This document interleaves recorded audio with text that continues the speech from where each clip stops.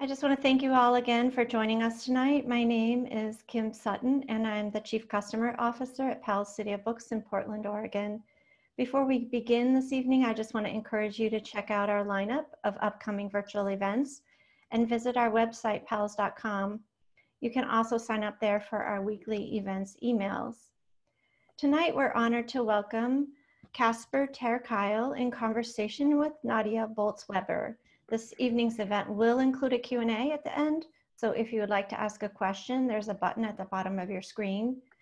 If someone has typed a question that you would like to know the answer to, you can upvote the question by clicking on the thumbs up um, icon. You can also support Casper and Powell's by purchasing a copy of The Power of Ritual, Turning Everyday Activities into Soulful Practices. A link to buy the book was included in your registration email, and I will also share it in the chat a few times this evening. Tonight, we are thrilled to welcome Casper ter Kuile, a Harvard Divinity School Fellow and co-host of the popular Harry Potter and the Sacred Text podcast. His work has been featured in the New York Times, Boston Globe, Vice, The Atlantic, The Washington Post, and on PBS. In The Power of Ritual, ter Kuile invites us to deepen our ordinary everyday practices as intentional rituals that nurture connection and well-being. This call for ritual is ultimately a call to heal our loss of connection to ourselves, others, and our spiritual identities. This evening, Casper ter Kuile is joined by Nadia Bolz-Weber, ordained Lutheran pastor and founder of House for All Saints, for All Sinners and Saints in Denver, Colorado. Nadia is also the author of three best-selling memoirs, including Pastrix, The Cranky Beautiful Faith of a Sinner and Saint. She is also the host of the Confessional podcast, The Confessional with Nadia Bolz-Weber, and that is hosted and produced by The Moth. Casper and Nadia, thank you so much for joining us. My pleasure. Thanks so much for having us. I'm so glad to be here. Thanks, Nadia, for for saying yes to this conversation. Like this is just fun for us to get to hang out and explore some big questions together. So I really appreciate. it. I know, even if it's not over a three-hour dinner. we'll just pretend the food is around us. Exactly. Yes. yeah. So Nadia, we uh, we were just joking before we started the call that both of us, in some way, are too religious to fit into the secular world and too secular to fit into the religious world. And one of the things I was really excited to explore in this, this book, and I, I, I want to talk to you about, is the way in which we translate tradition so that it resonates in a world where religious institutions are, are increasingly less relevant. You know, more and more right. people are less and less religious in the US. And at yeah. the same time, so many of us who, who kind of sit outside a religious tradition are seeking and hungry and exploring and maybe right. dissatisfied by uh, just the, the kind of mix of uh, trying this app with that nature hike and then hoping everything fits together. Um, right. So I, I, I want to start with, with that exploration of like, how, how do you think about how we can weave, weave tradition and modernity together? Yeah. Well, it's something I do think about a lot just in almost like anthropologically in the sense that yeah. human beings have always fashioned religion in some variety in every culture and time and place. And so to me, even though those things differ a lot and that's not unimportant, I do think that religion meets a need in the human, in our psyche. Yeah. It meets a need for us psychologically spiritually, socially, culturally. And so even if people aren't like religious per se, they aren't like attached to a religious institution right now, the need that religion has always met in the human still exists. And so I'm always curious, um, how are people how are people getting those needs met how are people attempting to get those needs met yeah. but missing the mark you know um, and so that's why I've always liked your work so much. I mean, uh, uh, how we met was uh, you guys somehow sent me a copy of a study you did called How We Gather, which was, I think, it's sort of talking about where are millennials gathering and, and what do we learn about what needs are being met by, the, by studying where they're gathering.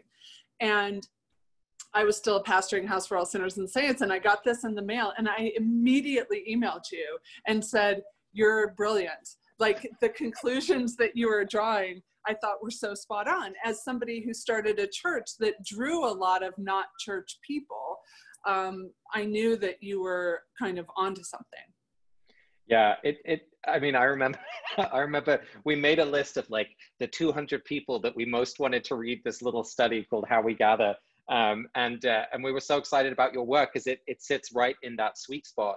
And I think yeah. one of the things that, that the church community that you grew um, was so able to do, I mean, it had a huge, it still has a huge number of queer people who are part yeah. of the community.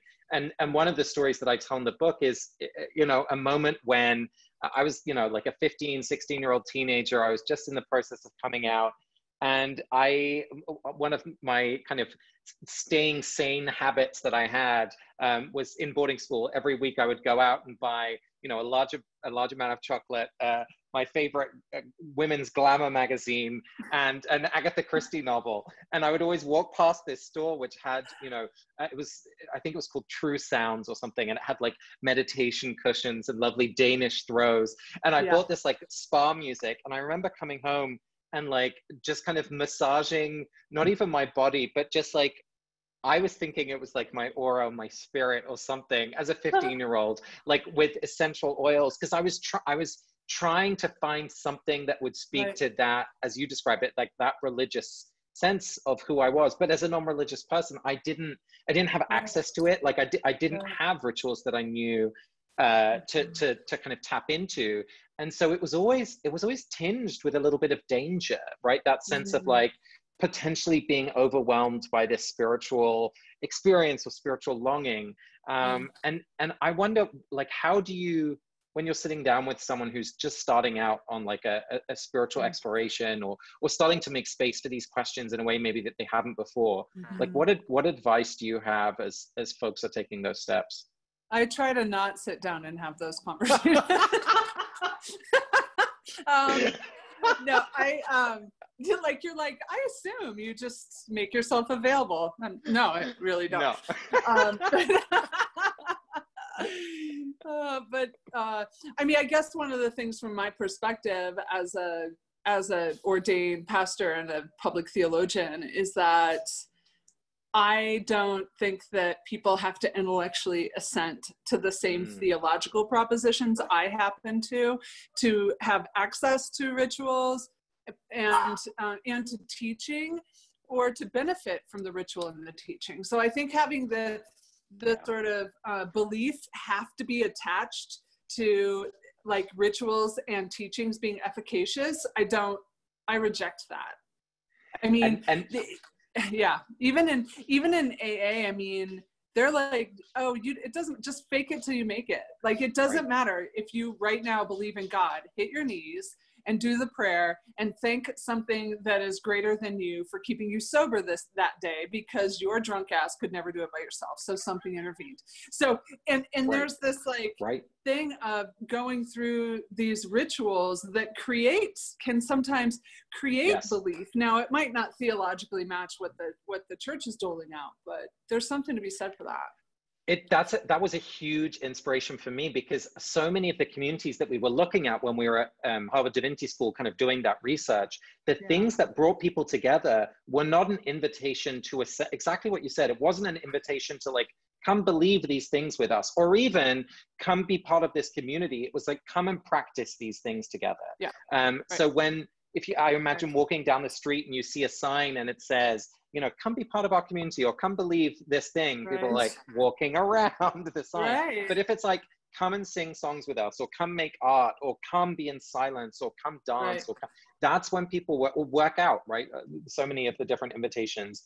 That's when yeah. people were really attracted. And then because the rituals are not just decorative, right? They're formative that mm-hmm. they actually shape us in a way that we become mm-hmm. not just more coherent as a community, but but we it starts to shape our our worldview and, and even our kind of theological imagination. So they they um, it, in in some ways when i was thinking like i didn't come up with the title the power of hmm. ritual mm. it was mm. one of those things where where my publisher was like we think this book is actually about ritual more than connection i was like oh my gosh ah, but ah. but because i the, the, structure of the book is across like connecting with self connecting with others connecting with nature and then the oh, transcendent wow. and it's the practices in each of those chapters that that uh-huh. help you uh-huh. get reconnect oh, with that wow. with that sense of connection. Oh, that's but really so interesting. Yeah, I laughed huh. a lot, but it's it, you're so huh. right that those rituals they shape us. It's not it's yeah. it's it's not that we start by believing something and being like, oh, how should I express that with a ritual? It's, yeah. it's often starting with the experience of ritual, and then that that helps us see the world differently. Yeah, and I just think I just think it should just be free for everyone. I mean, I'm I'm just such a like religious socialist. I think I did like I'm I basically describe it my career as like abscond like creeping into cathedrals and absconding with the greatest treasures and putting them out on the front lawn with the free sign. just, well, and, no man just help yourself you know do it yeah and and that works and that works well i think in a in a, a culture like the us which has such a, a, a big christian history and and yeah. you're especially reaching into the christian tradition yeah. Um, but it's it's it's interesting how those things obviously change when we start talking about marginalized traditions or, or traditions that don't have the sure. same kind of cultural power. But I feel the same way with Christianity. I'm like open open yeah. the doors and and discover the goodies. Yeah. right. But but I think that that move has to be be made by somebody from the inside. Yeah. like the, then it's appropriation. I mean, if you're sneaking into some, you know, to a place and absconding with the treasures and saying, their mind, that's a different thing. Yeah. That's when it gets tricky. So maybe you're putting them out on the lawn and I'm coming to the lawn and then discovering yeah, them and, exactly. and, sharing them with yeah. the neighbors. Yeah. Help yourself. Take take some for anybody you know who might like that. Yeah. Right. so Nadia, one of the things that I feel like I've learned so much from you about is the practice of confession. Mm. Um, and it's you know the, the centerpiece of the podcast which if folks haven't le- learned or, or, listened yet check it out the confessional uh, with Nadia Bolz-Weber. And um, I, I, write about the way in which I learned to think about prayer differently in the yeah. book. Because for me, prayer was always like the worst of religion. I thought it was like the magical jukebox in the sky. And you yeah. kind of, you know, you put in your order and then expect something to happen. And for me, when I learned about the, it was very kind of traditional Christian kind of method of praying, but the idea of acts, right? So uh, adoration, contrition, thanksgiving, right. supplication, these four stages that, that you can move through. And when I came to contrition or confession, um, it was a little, uh, it was first of all a little unsettling and mm. um, it felt, you know, exposing. And I was also very confused about like, who am I confessing to? Uh, yeah. or, or, what am what am I confessing to? Especially if you're on your own, you know, in a kind of meditation or, or prayer. How how do you think about what that confession like? Does it need to be to someone else? Can it be well, silent? Hold on, I have questions. Yeah. so when you when um so when you were sort of adding this into your practice, yeah. I, I get that you're like, who am I confessing to? All of that. Did you have a hard time accessing what it is you would confess?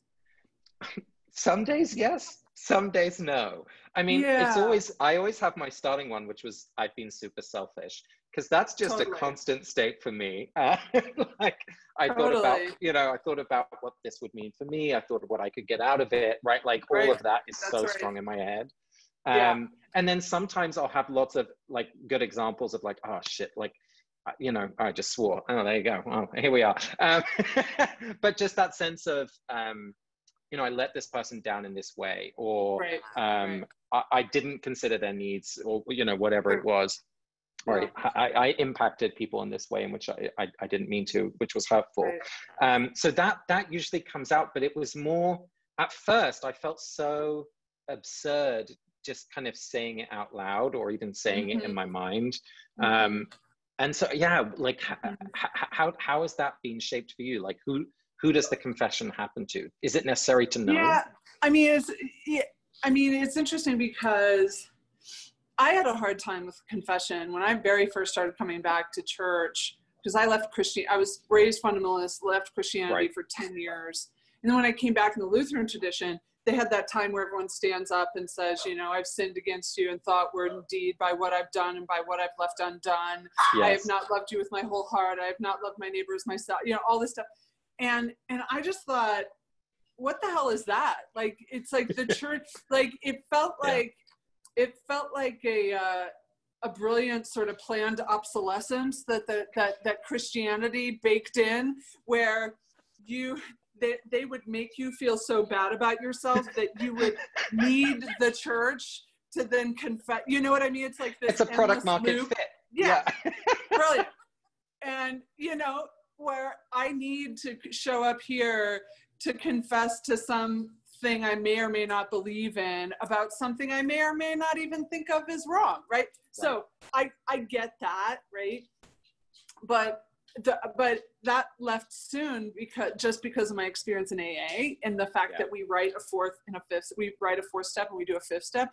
So in that process, like if you if you are so much of a garbage person that you cannot control your drinking and you're destroying yourself and everyone else like yeah. me, then um and and self will isn't going to do it. You can't pull right. yourself up by your spiritual bootstraps. Then there's this program you enter, and one of the things you have to do is you have to write a, a a searching and fearless moral inventory of yourself. Everybody you ever slept with, everyone you resent, you, I mean, all of this stuff you've done, you have to, you, then you have to look at did did it affect my self-esteem my pocketbook like why you have to really dig in and yeah. then you have to say it all out loud in front of another person and in the presence of a power greater than yourself so i, I had already had the liberating experience yeah. of having gone through that and so it felt instead of instead of it confession feeling like something i was right i was told i was supposed to do but didn't really believe was true it ended up being a an opportune a cleansing sort of uh, exercise that resulted yeah. in freedom for me yeah. because the fact is is that um, and maybe I have, I have, I have, my conscience is just like more sensitive than other people, but I'm constantly aware of what I'm not doing right, the thing I wasn't honest about, the way I hurt that person's feelings, the way I'm not showing up in the way I should, the fact that I definitely eat too much sugar. I mean, it doesn't, it like, it, it never stops, you know? And so, um, and then there are some super shitty things that I've done yeah. that I, they gnaw at me. And it's yeah. like, people people really need freedom from the gnawing the the fact that this something that i did or said that hurt somebody or damaged myself or damaged a relationship that it's haunting me. And i i want people to have freedom from that. Yeah. Do you find because this has been my experience now literally last night as i was falling to sleep i was like oh that person from literally six years ago i hadn't yeah. thought about that shitty thing that i'd done to them yeah. i need to you know and totally. and for me it's then a question of okay do i reach out to them or is that something yeah. that i'm i just do right without right. necessarily involving them um, yeah. but the, the practice of confession to at least in my experience you just keep right. seeing more of the ways in, in which no, i've totally. fallen short and yeah. and i think you know in our society it's all about your polished instagram version of yourself and uh, your accomplishments and your glories and victories but um, I find all of that tedious and boring because uh, all I ever want to know when I meet when I make a new friend is what's the worst thing they've ever done or what's a horrible thing they think and just try and not say. Then if somebody tells me that, it it I an affection for them just grows in me in a yeah. way that knowing about their virtues it would never happen. Right. No, 100%. The the other thing that I found really interesting was the way in which for me at least with confession the way my body is postured can help get get me into that place more easily. And, yeah. and this was something i learned from a friend of mine who's who's muslim adina lekovich who, who helped uh, organize and create the, the women's mosque of america in la and and she uh, at one of the gatherings that we hosted at, at the divinity school of, of, all of these interesting new community leaders she led us all in an experience of muslim prayer and just that that the kind of getting on your knees and putting your head yes. onto the ground i had yourself yes it, exactly and i had just never even connected those two things right. but as right. soon as i did that i just felt like even though i wanted to not do it out it came you know yes. what i mean Totally. Um, so just the, and yeah. I, I guess when I think of that, when I think of prostrating yourself, either just physically or emotionally through confession, yeah. it's not it's not to feel bad. It's to stop feeling That's right. bad.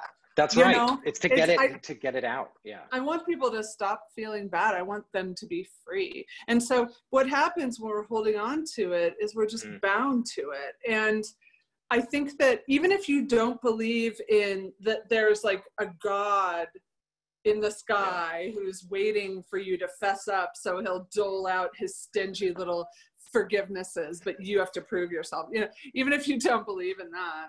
Um, there to me, to, to, to go through the process of confession, it just it, what it does is it aligns us back up with mm. a source of grace that's always available to us, which I believe is is the source of our being, right? Like the mm. fact that we even get to be alive, you can't earn it. It's a grace, right? right? So right. there's some way in which I see grace as our source code.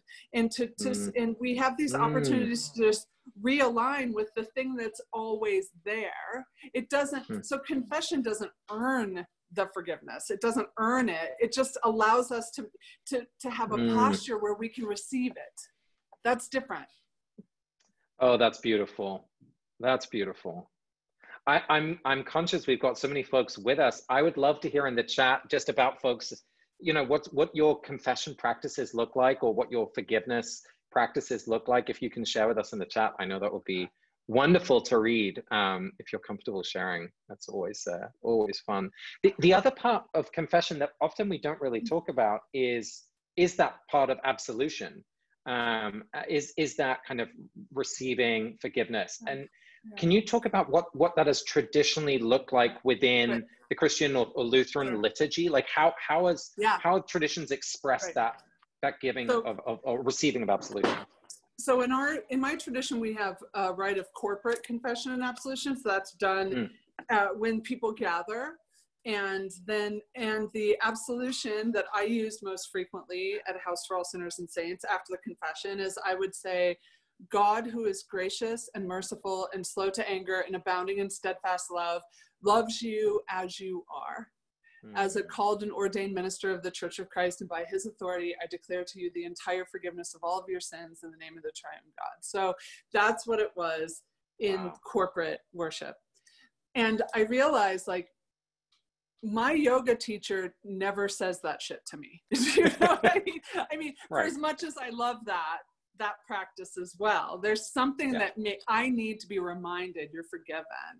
It's a yeah. powerful thing. Even if you can't articulate your theology of it, just hearing like you're forgiven, you're forgiven, you're forgiven. Makes you know, I have to hear it all the time. I yeah. have to hear it all the time. And then in individual confession and absolution, there's this lovely part of this of this liturgy of individual confession and absolution where the priest or the pastor says to the person after they've confessed and before they declare absolution, they say, Do you believe, do you believe that the word of forgiveness I am about to say to you comes from God? Yeah. And then I have to say yes. Yes. And then you say, and then you do it. So it's saying Woo, that gives not, me chills. Yes, I'm not giving this to you. I this is uh, something that I'm just uh, proclaiming to already be true and reminding you of. It's lovely. That's so beautiful because it also yeah. confronts the harsh reality, which is like it's not it's it's not that you have to convince me. I have to convince myself that Correct. like that I'm Correct. deserving of it and that it is, yeah. you know, forgivable because totally. we're so much harsher on ourselves than than other people of us are right, and certainly right. however the divine would be thinking of us and it was but my parishioners would avail themselves of private confession and absolution more than i think in traditional lutheran churches and yeah. it was the biggest honor you know to hear people's hmm. confessions but honestly casper a lot of times it was boring. Yeah, it's I mean, really not that exciting. no, like they would be so like tense and stuff, and then they'd be out with it, and I was still waiting to hear the confession. Like I was like, shit, like not like you know, this is no offense meant, but yeah. like I'm really unimpressed by your sin. You know, if forgiveness is available for all of us at all times, maybe you should go make more use of it. Just try, you should try harder so I love that.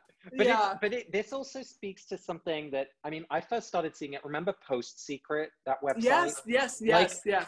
Perfect. Just that we have this need. Yeah. And of course, it's everywhere on, online because we have anonymity. But just that, yeah. you know, whether whether it's I don't know where else you could see it. I mean, obviously on, on like Reddit threads or on, mm-hmm. you know, j- just mm-hmm. places where people are, are, are sharing stories that otherwise might be, you know, seen as embarrassing or, or, right. or wrong, but that, right. that we need, we have this urge to, to, to, to share those stories. Um, right. In part, I think because we, we hope that other people like, yeah, me too, like, you know, you're, Correct. You're not, you're not the only one. Um, but also because I think we're looking for that experience of forgiveness of someone to say, you know, yeah. it's okay. Um, totally. Yeah. And it doesn't define, that does not get to tell you who you are. Like everybody, mm. Bryan Stevenson talks about, mm. we're, none yes. of us are only the worst thing we've ever done. We're so much more than that, you know? Yeah. Yeah. I was just listening to his conversation with uh, Ezra Klein this week. It definitely, if folks haven't, haven't listened to that conversation, it was amazing. Um, yeah i don't oh, so i don't i've met a lot of sort of i guess famous people and i don't get terribly worked up like there aren't many people i would ever like fawn or like fawn over or fangirl over? I definitely embarrassed myself in front of Brian stevens. Oh you did?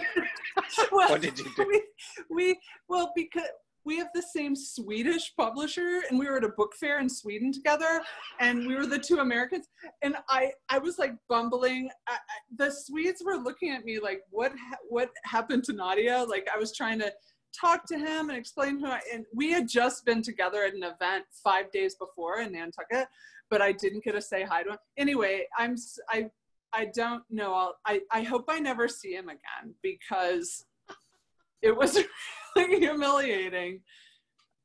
So. Oh my God. Well, one day i'm sure he'll he'll he'll come to you and have the same experience he has no idea who i am catherine he will Seriously. he will no. he's gonna listen he's gonna listen to the confessional he's gonna get it yeah. uh, but it's yeah i mean it, uh, there's all sorts of interesting parallels we could make with the the justice system and where forgiveness and absolution and mm. our hmm. kind of civic judicial system sit. But sure. we'll leave that for another day. Yeah, um, yeah, yeah, yeah. I, I, just want to remind everyone, please, please feel free to add your questions um, in the Q and A. We'll be we'll be looking forward to to answering, or at least I can't remember where I heard this, but someone recently said I don't do Q and A's, I do Q and O's because That's I can me. give you questions and opinions. Was that from you, Nadia? That was me. Yeah, yeah. I, I have I don't have any answers, but I have a lot of opinions, so that I feels more opinions. honest. Yeah. so we'll say well, we've we've got Q and O time, so please please add your questions. But the the other thing I wanted to talk to you about was, you know, I, I really tried to write the book with the the starting with an affirming of what people are already doing in their lives, whether they think sure, of it as yeah. spiritual or ritual, um, yeah. but, the, but the natural inclinations that we have to make meaning and to, to find relationships yes. that are oriented around depth and, and, and connect to something bigger than ourselves. So to start with a kind of an affirming uh, mm-hmm. voice mm. and then to invite people into tradition by saying like, well, if you're interested in this, have you heard about, you know, Abraham right. Joshua Heschel or this practice from Aquinas or this Ignatian way of engaging with text. You might also wonder, like yeah, exactly. Netflix suggests. Um, yeah. Um, but when you think about, because you spend a lot of your time kind of talking into the secular world, how yeah. how do you think mm-hmm. about kind of inviting people into the thing that their hearts already long for in mm. a way that is not about introducing a whole new way of thinking about the world, but really deepens the things that are already most meaningful to people? Mm-hmm. Well, I, I think that is that's a very sort of pastoral move is to mm. sort of help people see what's already in their lives as sacred or you right. know just reframing things for folks or yeah. to say you know if they say i have this quirk that i always end up reacting to this stimulus in this way in my life to instead of that being like some sort of horrible flaw to say that's a form of intelligence that you learned when you were young because that's how you survived some sometimes just switching it like that um, can be a really pastoral move yeah I thought I might. I don't want to read too much, but I thought I'd read no, just I, the beginning. I'd, I'd love for you to, yeah. Just just the beginning of the book because it it really speaks to this um, invitation. I hope so. This is the the kind of opening uh, opening page or two from uh, from the Power of Ritual. As a teenager, I was convinced You've Got Mail was the greatest movie of all time. Kathleen Kelly and Joe Fox, played by Meg Ryan and Tom Hanks, meet online in the early days of AOL chat rooms. We're in 1998 here. Think Monica's The Boy Is Mine and Bill Clinton's sex scandal. Mm. All they hmm. know about each other is that they love books and they love New York City, nothing else. Not even one another's real name. And through the back and forth emails that they send each other, they fall in love. They're honest with each other about their secret fears and hopes and pain. Mm. They share everything that they don't even tell their partners. This mm. is the best of online anonymity, feeling intimately connected and totally safe at the same time. And connected and safe were two things I didn't feel at all. I was a gay kid living in an English boarding school with 50 testosterone fueled teenage boys. Mm. I stuck out like a sore thumb. A look around my bedroom, shared with three others, revealed all you needed to know. As you walked in, there were posters of half naked supermodels and racing cars to the right, pictures of the band Slipknot in their horror masks on the left, and then in my corner, a complete collection of Agatha Christie books and glitter gel pens. True story. True story. needless to say, I wasn't the first boy chosen for the rugby team or the soccer team or anything really. I did join the aerobics class for girls, breaking boundaries for all future queer kids in the school, I hope, but that's another story. I felt lonely all the time. I would go on walks and pretend I was a hairdresser, asking myself out loud about any vacations I was going on. I mm. tried to ingratiate myself with the older boys by making them toasted Nutella sandwiches, like a baboon trying to demonstrate submission on the savannah. Please don't hurt me. I will bring you food. So you can imagine why a movie about love and connection and joy meant so much to me. Mm. And it's important to say that, spoiler ahead, the two characters in You've Got Mail don't actually meet until the final, my least favorite scene. Mm. The movie is about the promise of love and connection mm. more than the actual experience of it, because I longed for that kind of connection. And a tiny, mm. tiny part of me trusted the universe enough that, that perhaps one day Ideally, in glamorous Manhattan, I might find my own version of a literary multimillionaire who had a dog called Brinkley. I've rewatched You've Got Mail many, many times, hmm. but it represents so much more to me now than just a movie because I've made it more meaningful. I have very specific rituals for when and how to watch. Always alone, always with a tub of pralines and cream Haagen-Dazs ice cream. it's not an oh what shall we watch kind of movie it's an mm-hmm. i'm feeling lost and alone and i need everything i've got to bring me out of this slump kind of movie certain lines are inscribed on my heart like mantras characters are totems of what i want to be and not be in the world well for most people it's just another rom-com for me you've got mail is sacred and that's what this book is all about taking things we do every day and layering meaning and ritual onto them, even experiences as ordinary as reading or eating, by thinking of them as spiritual practices. Oh, I love that. I'm going to totally watch. I am going to watch it tonight. I swear to God. I'm watching that movie tonight. It's so good. Oh, God, I love it so much. right, let's get to some questions. We've got beautiful ones coming in here. Um, let's go to Becky's question. Um, how do you handle or respond to critique and questions and criticism from folks who are strongly within the tradition and less open to these kinds of practices? Uh, I'm mm-hmm. thinking of folks who consider themselves gatekeepers. Is there a way to mm-hmm. invite them into these practices so that they can hear? That I, they're not my audience, so I don't really. Yeah. Do you know what I mean? Like when people, yeah. uh, I love that question, but for myself, when people critique my work, like I wrote a book called Shameless about sex and Christianity and whatnot, and people were, you know, very priggishly clutching their pearls about, you know, all of this. And I'm I was unbothered because I didn't write it for them. They already have what they need. The Christian publishing world is their oyster. Do you know what I there, yeah. there is they, they will never lack for books to help them double down on what they already believe right so yeah. they're taken care of and so I, I always think of a I always I have a discernment question I ask myself almost every day. Mm. My friend Suzanne Stabile, who's an Enneagram teacher, taught me. Yes. What's yes, what's mine to do and what's not mine to do. But then also, and this is a little harder, what's mine to care about?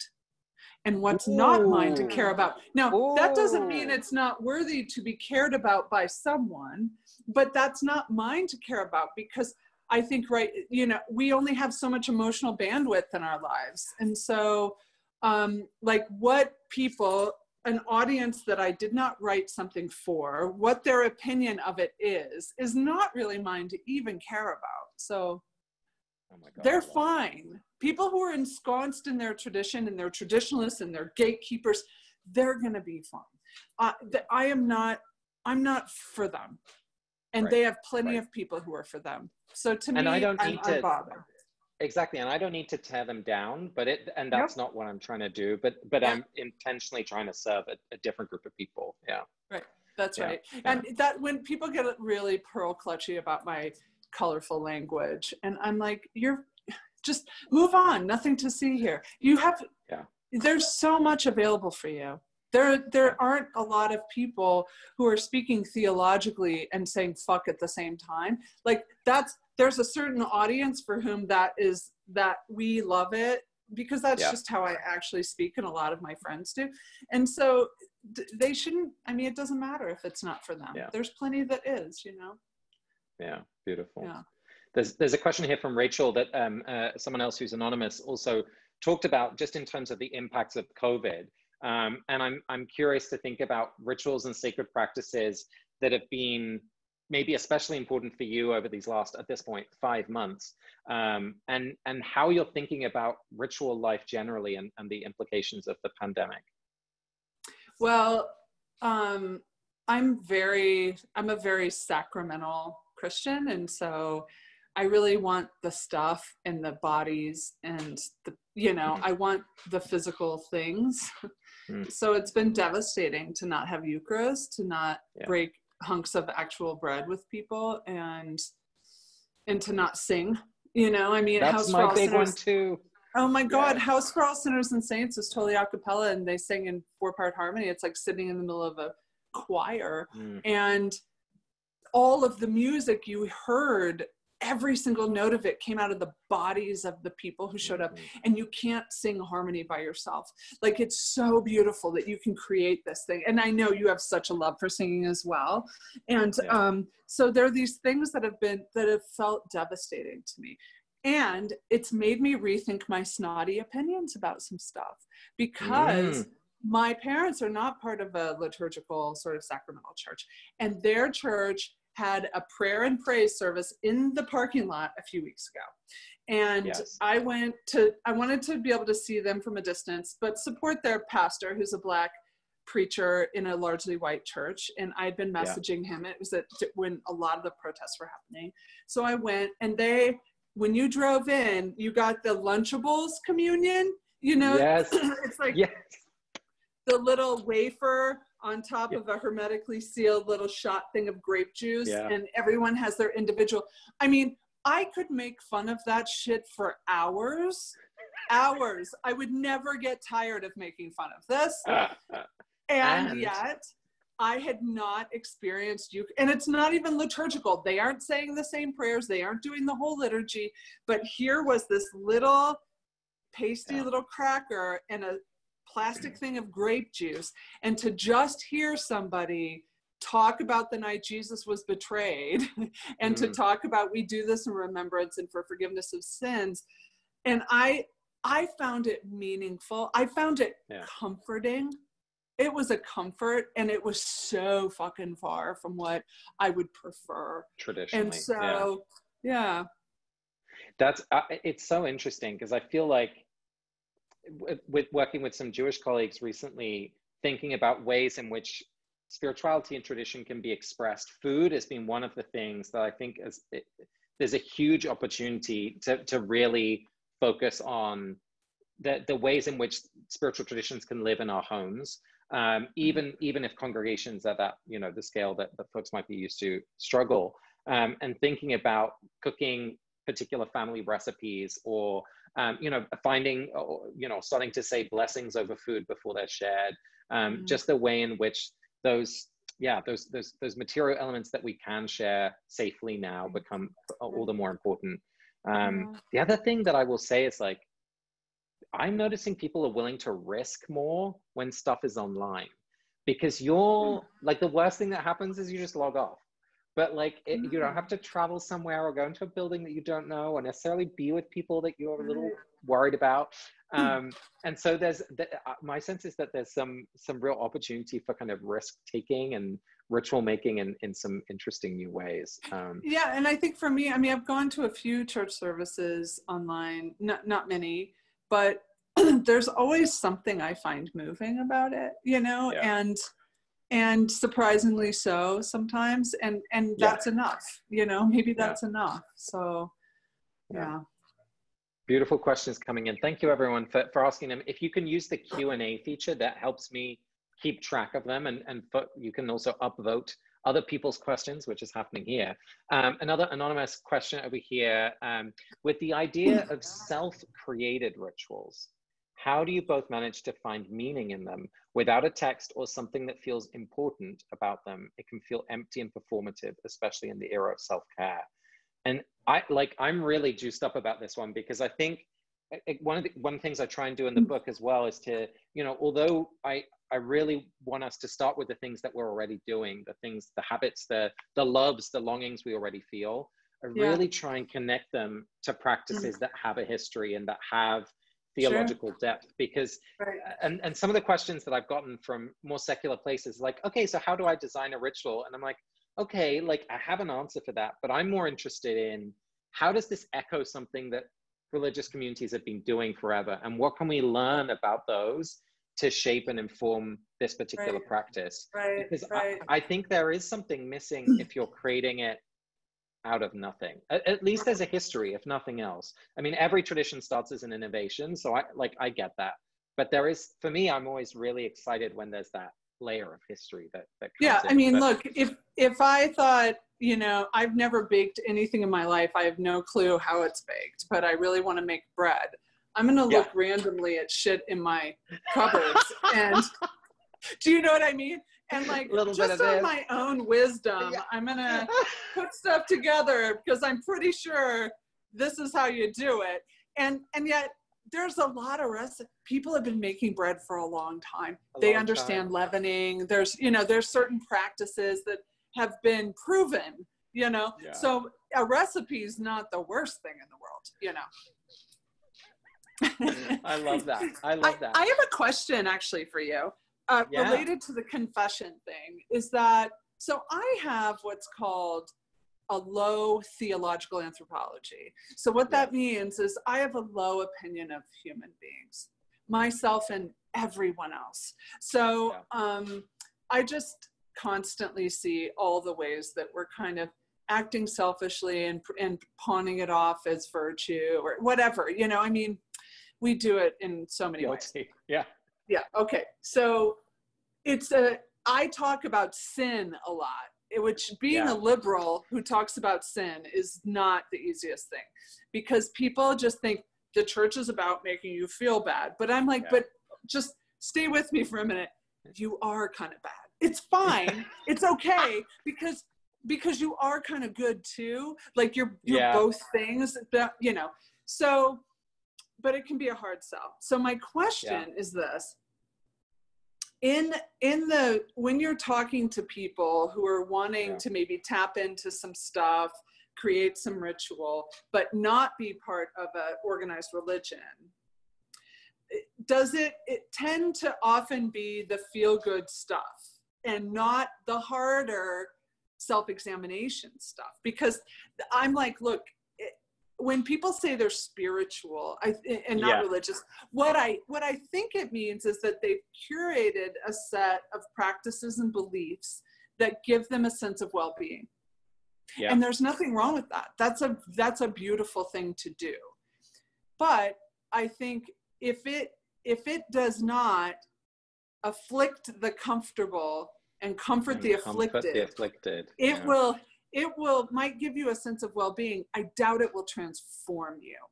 the transformation comes from the uncomfortable shit you're not going to pick up you're not going to pick up in a you know buffet line A hundred percent, a hundred percent and and this speaks so much to my experience, Nadia, because Yeah. I started out. Oh, I'll try this meditation. Like, oh, Sure. I'm gonna try this retreat, and of and I'm so glad I did. I'm so glad I did, and it and it definitely helped. The thing for me that changed everything was when I had a mentor who sat me down and said, "I'm gonna be your mentor because you're never gonna ask for help." Like someone had to kind of like break, and she was right. Like I was. I was feeling great, you know, about myself.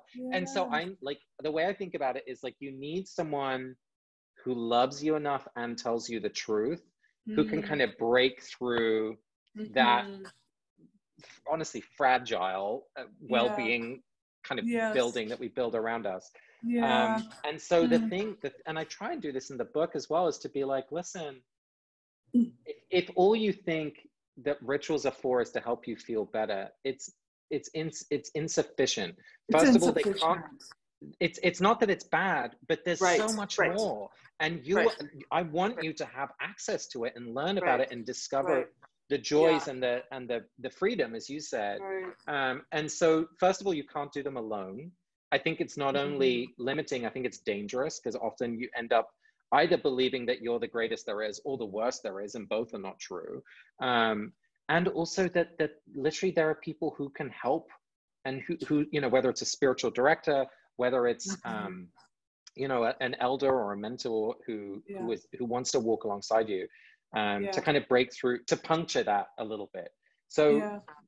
but but again this is where i get frustrated with religious institutions because i'm like Yeah. i wish there was just a great list a spreadsheet a, a match.com so that folks could could connect with someone who they would recognize as trustworthy um, Right. and i think that's maybe the the biggest barrier is that still there's so much um, rightly earned uh, hesitation around engaging or just not knowing hey is this ordained person going to be affirming Right. of my identity it, it- will i you know will i be shamed or made to do xyz you know that i don't that i don't agree with and that's just not within Yeah. christianity that's that's everywhere yeah, Um, that's right. so those those are the moments where i don't I, I honestly i don't really blame people who are right. who are stuck in the well-being thing because it's all that they're hearing it's all that they're being offered you know what i mean Yeah. Hey, I want to get to some of these real quick. Uh, Good. It says answer live. Um, yes do it Okay. Wondering what thoughts you each have about Ooh. social protests as ritual. yes it's been uh, really fascinating to me i mean the black lives matter movement claims itself as a spiritual movement Yes. And that is not talked about in kind of the, the press that I read. Um, I mean, the, the founders of that movement integrate Ifa practices. You see altar building, you see Right. singing, you see uh, Right.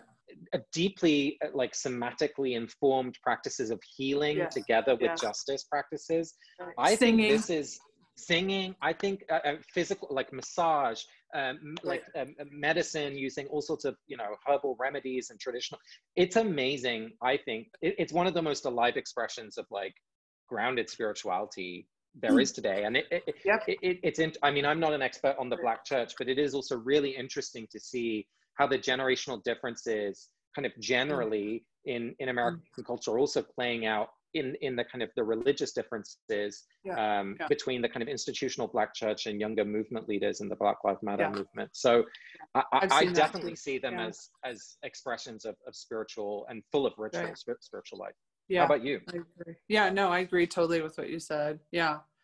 Um, I'm trying to, it's hard to read these, but uh, okay, here's one. Casper, one of the aspects of ritual you mentioned in your book is consistency. I don't have my book with me, so sorry if this is the wrong language, but I am in a place in my life where my work and school schedule and the demands of my on my time are very sporadic. I'm very compelled by rituals like Sabbath or exercising intentionally, but um, consistency is unattainable. Do you have advice for integrating ritual if I have trouble with consistency? Well, I feel you is the first thing that I want to say. Um, mm-hmm. one thing, Alyssa, that I might offer is that usually when we think about consistency or repetition, as I talk about in the book, we see it as like a daily thing. And that is amazing if you can do it. Sure. But for me, it's been really important to have, honestly, my most important practices are weekly. So I have yeah. the, the tech Sabbath that I do on Friday nights. And then I have my covenant with my two mm. colleagues where we read aloud the covenant that we have together. And then we talk about where mm-hmm. we've fallen short and where we've lived into it. That happens in our Monday oh. team meeting. Um, and so mm-hmm. it's, oh my God, it's the best. It's the best. Mm. Um, so honestly, for, for me, having those mm weekly ones feel much more sure. doable. Yeah. And even then, it doesn't happen every week, right? Sometimes yeah. I'm traveling. Like this week, I'll I'll, I'll be traveling, mm-hmm. um, and it it just doesn't it doesn't always happen. And for me, it's about it's never about perfection, but it's about returning to the mm-hmm. intentional, returning to the practice as best we can. Mm-hmm. Um, and this is another reason for me why I try not to do them on my own, because then, like Nadia, you were saying before, if it's only up to my will, and my sure. like being good enough, then I'm gonna fail all the freaking yeah. time. Um, totally. But but I'm curious, what what would you add in terms of trying to find consistency? Also, I don't have kids. Like I, I you yeah. know, my just the circumstances of my life are so mm-hmm. different. Mm-hmm. I've had periods of my life where I had very dis- disciplined spiritual practices on a daily basis. Um, yeah. and, and I was grateful for that. And it's what I needed at the time. But I realized maybe a couple weeks ago it feels like there's two different kinds of broadly speaking sp- people um, in terms of spiritual disciplines i'm yeah. like a hunter gatherer and other people are agriculturalists and so yes. the agriculturalists they have the rows they plant the seed they go yeah. they plant another seed there's this you know what i mean yeah. it's very prescribed and it's systematic and they know the harvest right and and those and i always judged myself when i'm not in a period of doing that for not being an, a farmer but i'm more of a hunter gatherer where my spiritual practice i think is about always about paying attention and mm. more than anything in the sense mm. that i can have an interaction and i will see it in a certain way because i'm paying attention later i'll reflect mm. on it I'll see mm. patterns in my life. I'll I'm mm. like just kind of stupidly stumbling around, and I'm like, oh my god, there's some berries, thank God, uh, you know. So so that's more the practice yes. for me is is in is in paying attention and seeing oh my god there's so many places to find spiritual sustenance but i'm yes. not the one creating them through my practice right now. I've had times when that was the truth, but right now, right now it's different. Yeah. I love that, especially because it makes space for those little moments. You know, whether whether you're walking to the grocery store and you suddenly look up at the sky, or uh, right, like that, yeah. that, that you can just that that that we can call that a spiritual practice. I love that, like the discipline yes. of noticing, because they're going to happen. Like, can we be open enough to receive them when they come? right yeah it's a it is a it is a thing about presence and you know a lot of times i'm in my head i'm just constantly yeah. thinking about other stuff to where i'm like how did i get from my apartment to the store? I remember i was not present to the drive at all you know? And so um for myself when i when i can have that presence just stop take a breath check in drop in then yeah. um i realize oh there's sustenance here you know? Yeah. The, the final thing I'll say, this has been, I don't even want to say it's like a tip, but something that, that, that feels like it's been helpful for me is to try and build on those intentional moments, like the more, the more agricultural approach mm-hmm. on the, onto things that I'm already doing.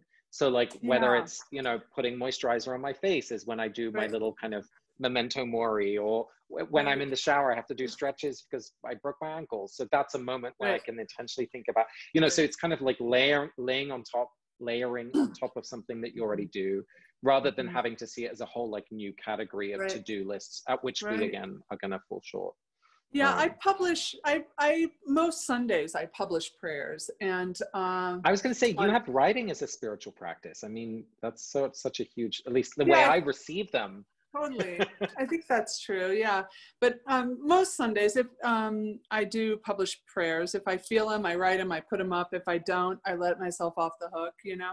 Yeah. But um, a couple months ago, during the pandemic, I wrote prayers that were like, it looks like we're not going to get to go to church for a while. And yeah. so when when my eyes brighten in a smile behind my mask at a cashier, may that count as as passing the peace.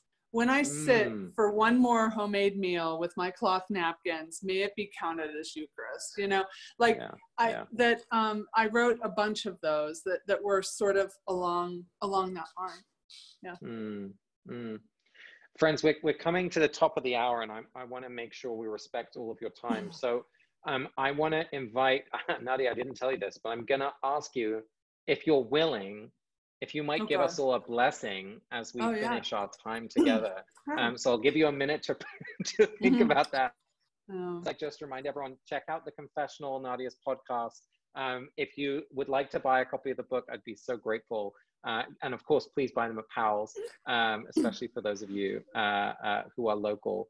Um, and uh, we'll hand over to Kim again in just a minute. But I so appreciate you all being here and just oh, being interested in these questions and, and exploring mm. them with us. I, it, mm-hmm. it, it, makes me very happy to know that uh, at least I'm not alone, uh, even from all the way over here. So, well, Nadia, it's one of those. It, the blessing thing is is another one of like, where do you receive a blessing if you don't have a priest?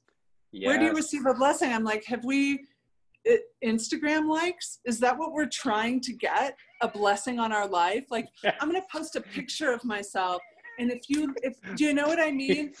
It, yeah, and because we do, we need to receive a blessing somewhere, and yeah, that's why at the end of the confessional, I write blessings for my guests and give them. So that is why.